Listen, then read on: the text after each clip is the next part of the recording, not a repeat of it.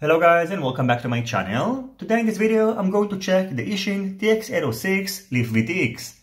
In this video I'm going to go over its features, measure its output strength, and then head outdoors and test it out.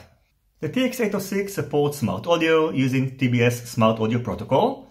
Its output strength is selectable between 25, 200, 400, 800 and 1000 mW. In addition, it features an onboard microphone, it supports 72 channels, and features an MMCX antenna connector. Inside the box, along with the VTX, you'll get in the user manual, a 6-pins connector, a linear antenna with an MMCX connector, and a 90 degree to either SMA or RPSMA antenna connector, depending on the version that you've got. The weight of the TX806 is just over 8.5 grams, so it is a little bit heavier than the TX805. And as you can see, it is shaped like a leaf, which will enable you to mount it diagonally on top of your stack. The distance between the mounting holes is about 41.4 millimeters, its width is 28.3 millimeters, and its thickness is about 7.8 millimeters. When setting up the VTX for the smart audio, you will only be able to set the output strength to 800 milliwatts. In order to set it to 1 watt, you will need to set it manually by long pressing this button for 4 seconds. And then in order to set it to 1 watt, you will have to select the fifth option. And now you can see that the VTX is set to channel number 1, band F, and the output strength option is 5, which means that now it is set to 1 watt.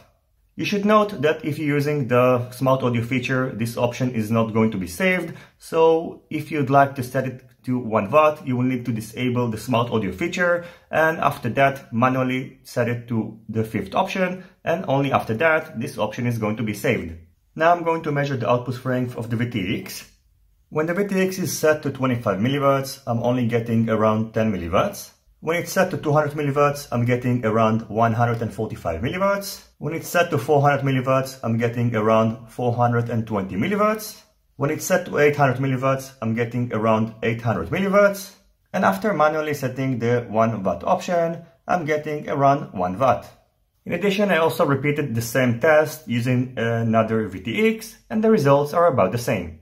The next thing I've done is to head outdoors and test the TX806 out and since I've already performed the test, I can tell you that it did very well and considering that it cost only $15, it will give you an excellent value for money and if you're looking for a budget-friendly long-range VTX, you should definitely check it out.